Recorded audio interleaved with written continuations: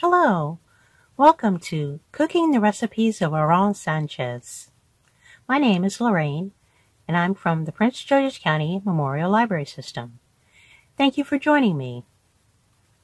Today in this program, we'll be learning about Aaron Sanchez, discussing life lessons from his memoir, Where I Come From, and cooking a few of his signature recipes.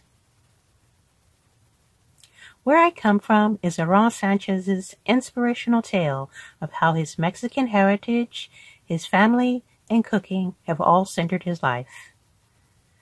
Aaron Sanchez is one of the world's leading Latin chefs. He has been practicing his food craft for the past 30 years. He specializes in modern Mexican and contemporary Latin cuisine. So put your apron on and let's get cooking. Hi,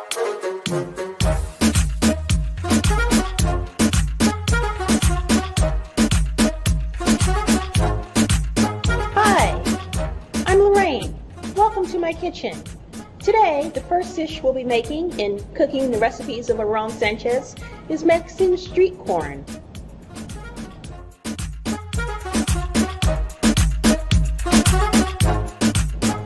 Elote, corn, or corn on the cob.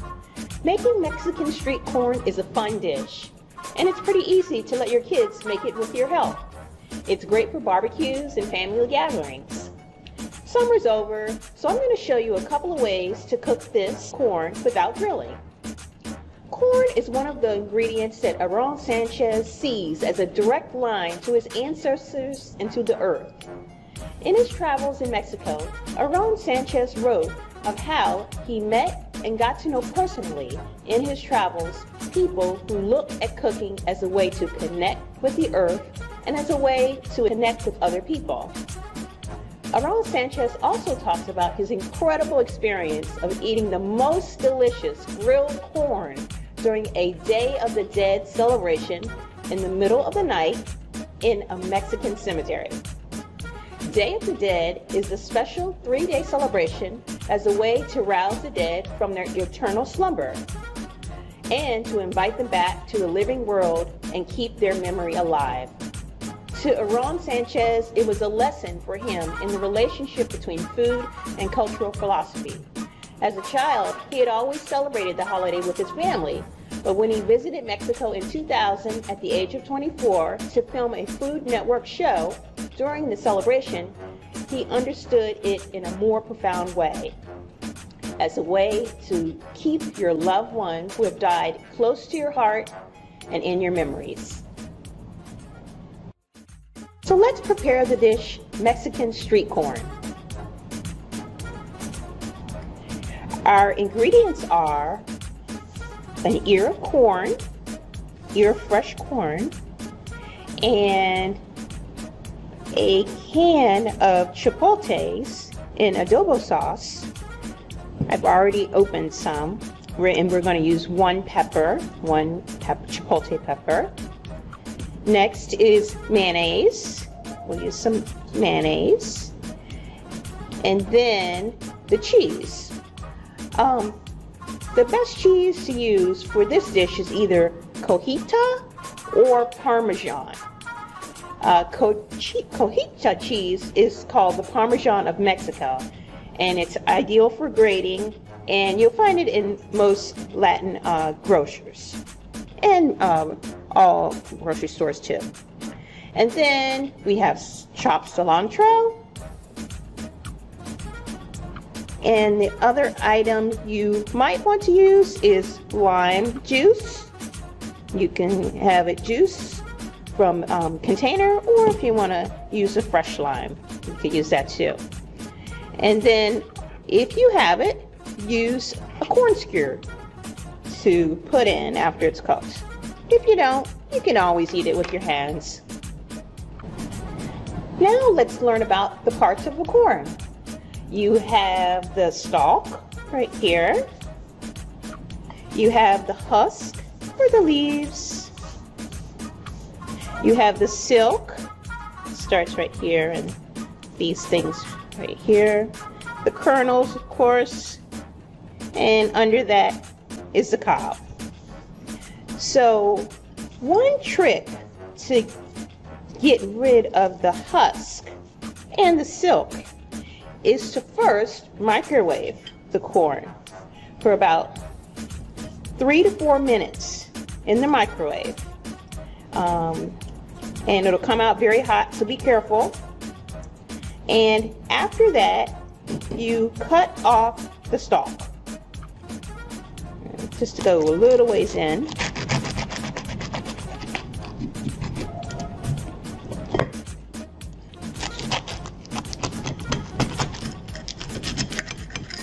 Okay, so cut the stalk off and you see right into there, into the cob. So, what you do is you take it from this end and you squeeze it and shake it. Clean the plate. See what happens. See if this works. I might have to push it. Oh yeah, okay. You squeeze it and shake it and it'll fall right out without you having to do a lot of cleaning of the silk. So it turned out pretty good. I'll clean my plate off. Okay, so we are going to bake the corn. So what you do is you do the microwave thing to easily get all the silk off. And then wrap the husk back over the corn sort of wrap it. And you're doing this to retain the moisture. I'm not going to use that one. Let's see. I'm going to use this one. So looks like three is enough. Help me cover most of the corn. Then what you do is you get a piece of foil and you can either use parchment paper or wax paper. And that'll really help retain the moisture. So you wrap it up the husk and then the parchment and the foil. Wrap it like this and it'll really come out moist. And you put it on a baking sheet, put it tight. You put it on a baking sheet and you put it in the oven for 30 minutes.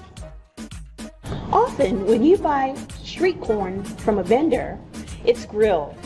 But since it's summertime, we baked it and it is delicious. So I baked the corn 30 minutes and it smells, oh, I can smell so good. I can smell it even through the foil. So I'm gonna unwrap it and the husk really helps to keep it moist. Cool. Smells so good. So what I'm going to do, I'm going to put the skewers in. I might have to cut this in. Oh, get this little silk off. I might have to put the skewers in. Let's see. Oh yeah, it'll go in. And put it in the other end. So delicious, bright and yellow. So now what I'm going to do, I'm going to put it to the side. I'm going to start to make my chipotle mix. I'm going to put down some mayonnaise. I'm just making one ear of corn today.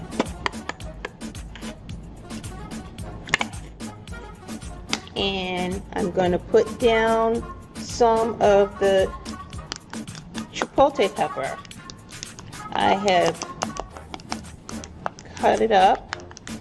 Usually several are in the can and like half of one is enough for one ear of corn. And I'm going to mix it on the plate. Mix it around. I might need some more. I'm going to try to get the more of the sauce than the skin. And I'm going to put a little bit more mayonnaise down.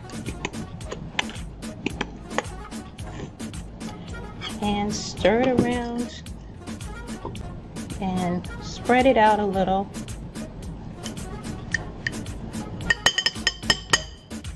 And next, I am going to roll it. All around. Hmm. I have to spread it out with a spoon too. Spread it all out.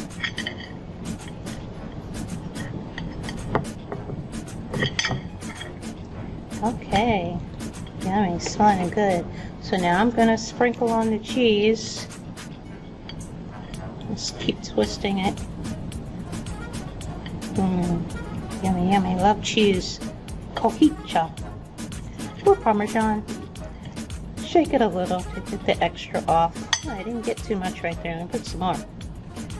And then the garnish is cilantro. Mmm, smells delicious. So fragrant. And then the final thing, if you like, is just to sprinkle on just a little bit of lime juice. Give it that extra flavor. So it smells delicious, it looks delicious. I'm gonna take a bite.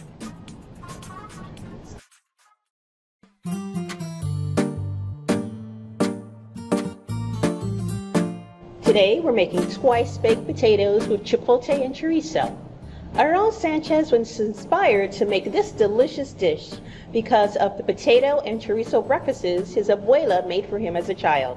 In his memoir, Where I Come From, Sanchez discusses why it's so important to remember and celebrate the important contributions of Hispanic and Latino peoples in the United States and in the world, like his abuela, famous cookbook author, Ida, and his mother, famous chef and restaurateur Zarela Martinez. In his book, he gives credit to the many Latino people who are the backbone of his and many other restaurants. He explains why they deserve more credit and respect in the food industry. So let's make our twice baked potatoes with chipotle and chorizo. So, here are the ingredients for our twice baked potatoes. We have russet potatoes. We have vegetable oil. We have chorizo.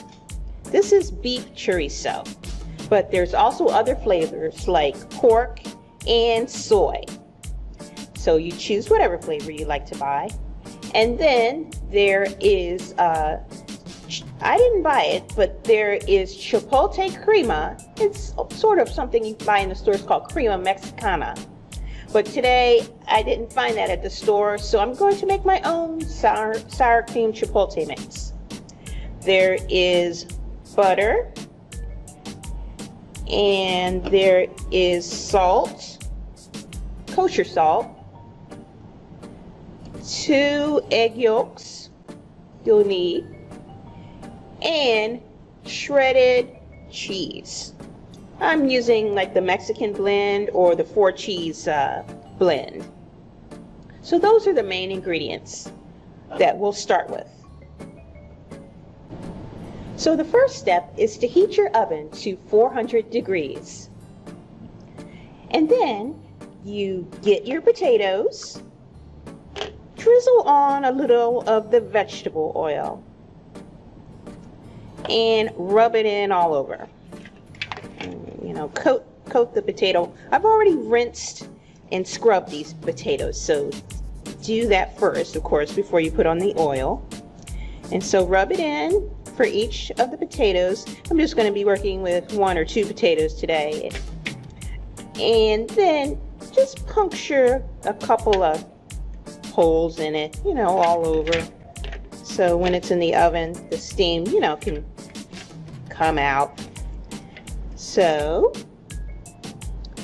then um, bake, you bake, you put them on a baking sheet. I'm gonna use this one. And you put them in the oven for 45 minutes to one hour until they're tender. And after you pull them out of the oven, leave the heat on at 400 degrees. So while the potatoes are cooking, I want you to cook the chorizo. So whatever flavor you got, you'll need, of course, to cut it off um, and squeeze it out into your pan and put it on a non-stick skillet over a low heat and cook it for about 10 minutes. Stir it often until it's cooked thoroughly and it should come out that it'll have some crispy bits. I had done it before and this is how it turned out. I wasn't watching, unfortunately, so a little bit's burnt, but it's still delicious. I have that I cooked. I cooked the soy um, soy chorizo. So next, after you've cooked the chorizo, um, when your potatoes are cool enough, let them cool down. Then what we're going to do, we are going to scoop scoop out the centers. I did one. So I cut it sort of at the top to leave it like a little boat. And then I scooped out all of the um, mash. So I'm going to do it for this one. I'm just going to start at the top, not go too much into the middle. And just sort of take off a top. Let's see. All right. Take it off. And you put that aside. And now let's start to scoop it out. We are going to get this and scoop it out and try to protect the shell so that it doesn't break. Don't go down too far. You don't want to tear the skin. So of course we're going to fill it with all of the delicious potato with all the wonderful ingredients. So scoop it out. Oops, I dropped some. Uh-huh. And put it in a bowl. Let's see. Let's make sure I've done it right.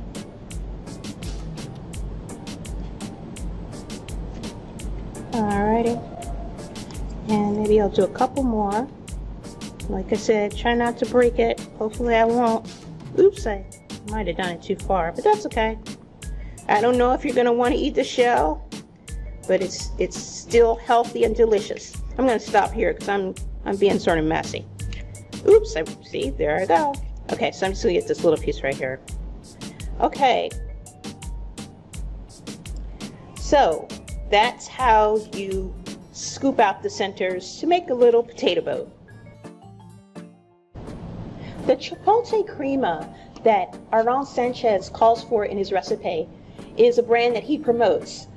I didn't see it in the store, but it's in a squirt bottle and it's Chipotle Crema. So since I didn't see it, we'll make a substitute today. We'll make our own Chipotle sour cream mix. So in the bowl, we're going to mix 3 4 sour cream. I'm not gonna this uh, container is about one cup, so I won't do it all. So this sour cream, and uh, we had a can of chipotle pepper in adobo sauce.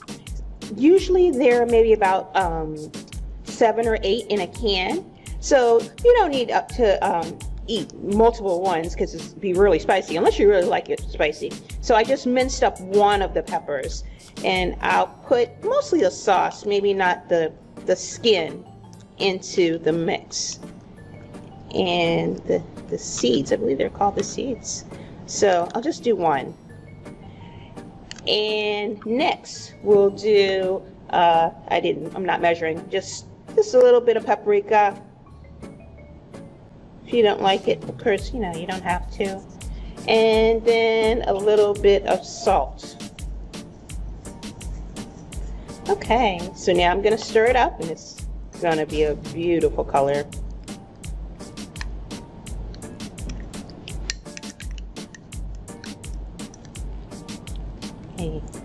Maybe I'll put a little bit more of the the pepper, at least the juicy, the juice parts, to give it a little more color. just a little. Okay. And I'm going to stir it all in real good. Okay. So, in a small bowl, now we're going to get the potatoes we scooped out and mash it, you know, with your masher. I had some I, I gathered before. Um, I don't have my masher today. Let's see. So you mash it in, and then you pour in the butter. Pour in the butter. And next you put in a little bit more salt, you know, if you like, you know, if you don't like salt, you don't have to.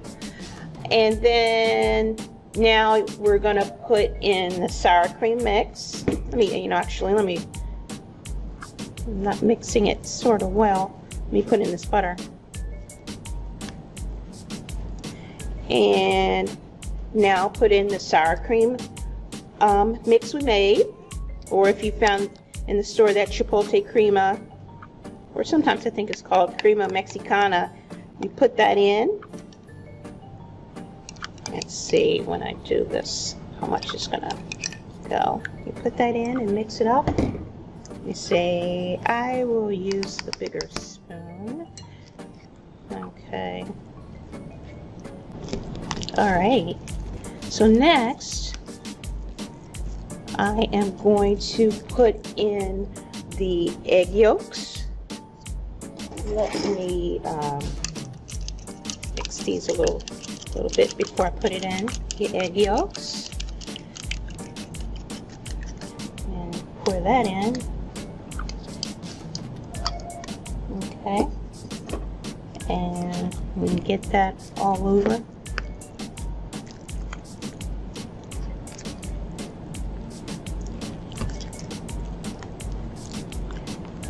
And then we're going to put in the chorizo that you had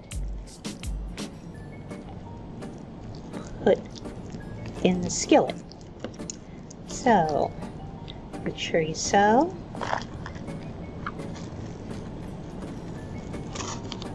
And stir it up well.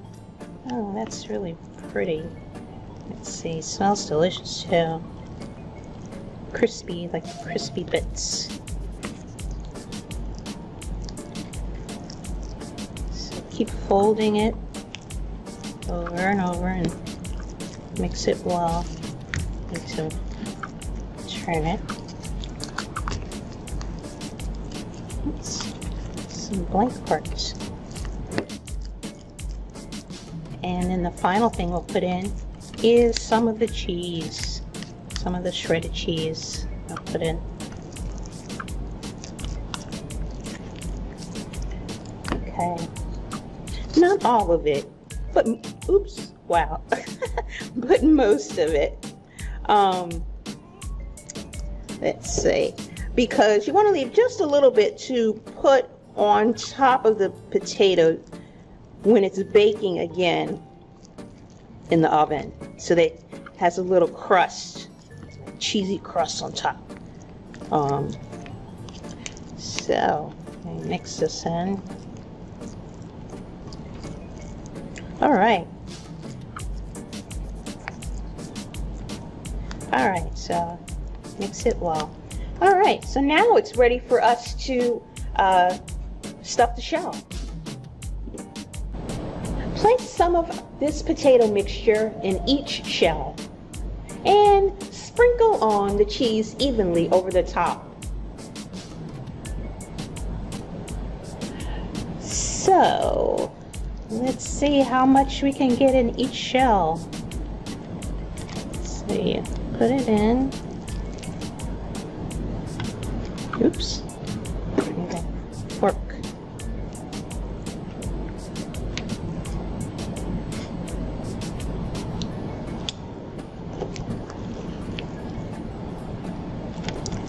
Let's really stuff it so it's overflowing right out of the shell.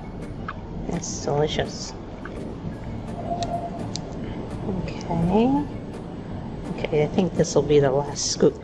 You can pat it down a little to get it inside. Okay, and I'll do the other one.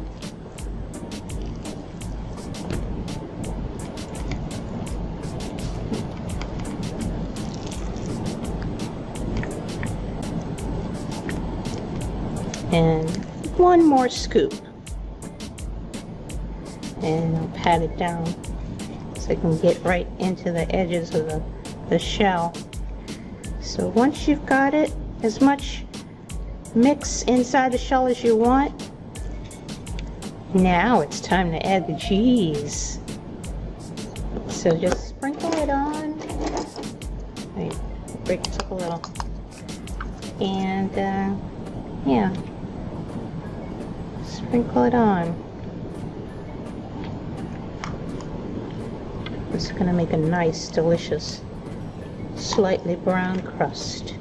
Okay, so now you put this back in the oven for about another 15 minutes until the uh, till it's warmed and the cheese is brown. So about 15 minutes. So while that is cooking, 15 minutes, we will prepare the last thing, some chopped cilantro and lime juice. And we're going to sprinkle this over our baked potatoes, twice baked potatoes. First, do the um, do the lime juice, just a little so it absorbs in there get it, give it a little twang. And then garnish it with some cilantro. Oh, that looks great. Alright. Yeah, it's a little messy with that. So, there it is. Twice baked potatoes. You know, actually, I'm gonna I'm gonna try this. I wanna taste it. Because I bet I just I'm just hungry. Let's see how it tastes. Mmm. This is delicious. Cheesy and creamy. I love it. It's so good. Oh, and it, okay, now I feel the spice of the chorizo. Mmm, this is delicious. I like the cilantro on top too. I love it. I think I'll eat both of these potatoes. So, this is twice baked potatoes. I hope you enjoy making it your own yourself as much as I have.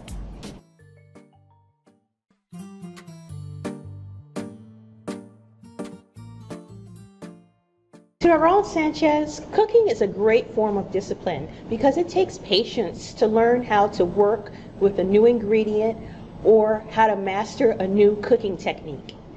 These qualities can be applied to anything in life because all good things take time and hard work. In his memoir, Where I Come From, Sanchez describes being a rebellious teenager and how working in restaurant kitchens literally saved his life. It gave him the structure he needed and also enjoyment to know that he was really good at something. Like Aaron Sanchez, anyone can find out who they are or who they want to be by learning a new craft, like cooking, and sharing their labor, food, for example, with the people they love.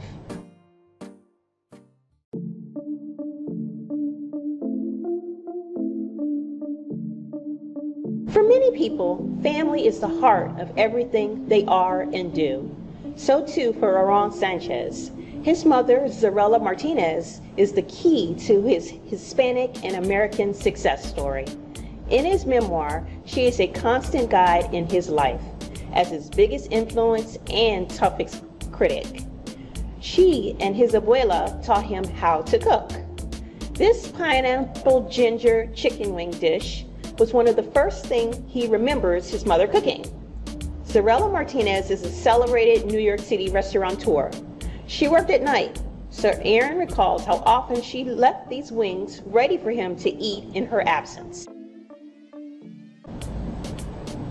The ingredients of Zarela's pineapple ginger chicken wings are first we make the marinade, which is made with we have the pineapple juice, we have orange juice, we have lime juice. We have soy sauce. We have vegetable oil. We have a little bit of salt. We have the ground coriander. Mmm, smells very fragrant. We have the uh, garlic. Of course, they're garlic cloves. You can break them and grate them. But I have some minced garlic that I'm going to put in. So I'm going to put this minced garlic in. But it's great to grate it yourself as well. It's very fragrant and delicious. Next, we have serrano pepper. Now, serrano pepper is, is very fragrant too. Once you break it open, it has seeds, so I scrape the seeds out. But this is very hot. Serrano pepper is five times hotter than jalapeno. So um, if you want to wear gloves, fine, but um, just sort of be careful. So I, I scraped out the seeds and then I chopped it up. So I'm going to add the serrano pepper. And next um, was ginger. So I got some fresh ginger and I grated it. And just going to put a little bit in there. So ginger. Next, ground pepper. And this is actually the last thing for this marinade.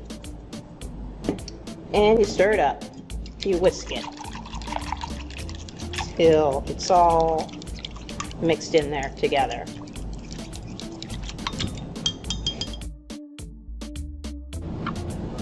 So preheat your oven to 225 and get a pan, a baking pan, and if you can get this kind, or if you have your regular kind, then line it with aluminum foil so that when the chicken bakes with the marinade, it won't get so sticky and be hard to clean. Then, our next ingredient is the chicken wings. So, our recipe calls for 24, but I'm only using 10 today um, of chicken wings, and I cut them. So I'm going to put some gloves on. So here's a full wing, of course. And so I cut them because it wants you to cut the tips off. So cut the tips off of the uh, the chicken wing and just use the uh, drumette and the drum.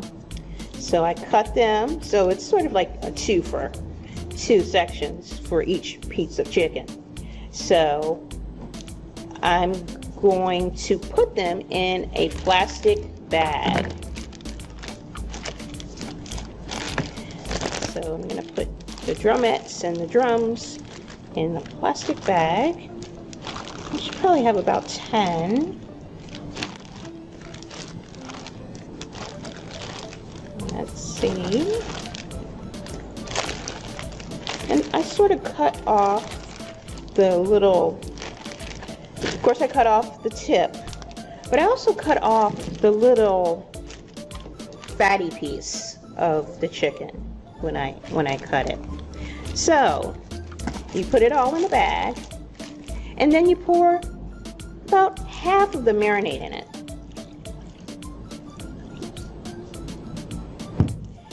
You close the bag. I'll take my gloves off now. And shake it. Shake it for a minute or two to mix it all around in there.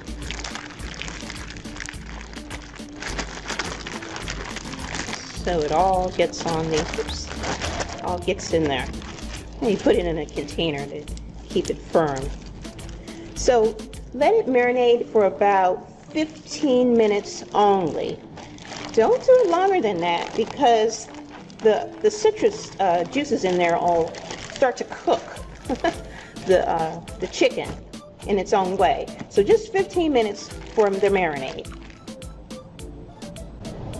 So next, what you do is pour the rest of the marinade into a skillet and you put it on a medium to low heat uh, and stir it occasionally. So probably after about 10 minutes, it's going to become thicker. So we are going to use that a little bit later. So stir it on the skillet over a low heat for about 10 minutes till it gets so till it's reduced by half and it's a little bit thicker. So once you cook the sauce in your skillet for about 10 minutes, it'll get very thick and you'll be able to use it to brush over the chicken wings. Next, what I'm going to do is put the chicken wings on the baking dish. So it they have marinated for about 15 minutes and I'll just put them separately into the pan. Oops, got two there. And let's see. And one more. So now, now you are ready to bake your chicken wings. So cover them in foil and bake them for 30 minutes uh, with your the oven that you've already preheated at 225. So 225 for 30 minutes. You bake them. And then take them out of the oven, remove the foil, and adjust the heat up to 425. Then you are going to take the foil off after they've baked the first 30 minutes. And I'm not going to do it with these. And you're going to put that sauce that you made on the skillet, the thicker sauce, the sugary one, you're going to put it over the wings as another glaze. After you do that, you bake them another 20 to 25 minutes. After that 20 to 25 minutes at 425 degrees in the oven, then you take them out, take the foil off, and glaze them once more with your marinade. So once the wings have baked that additional 20 to 25 minutes, now it's time to garnish them. So I've taken them and put and plated them and I'm going to put just a little bit more of the marinade on them. And I'm going to garnish them with some green onions. Mmm, very fragrant, delicious. And some cilantro.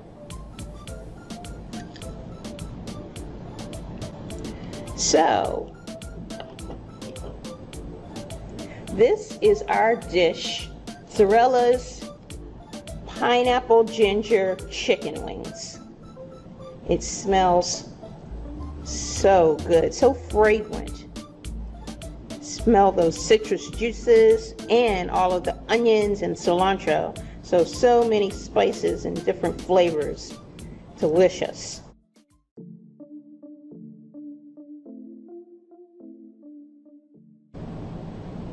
Since Raul Sanchez's mother and grandmother are pioneers of Mexican cuisine in the USA, he grew up in the kitchen.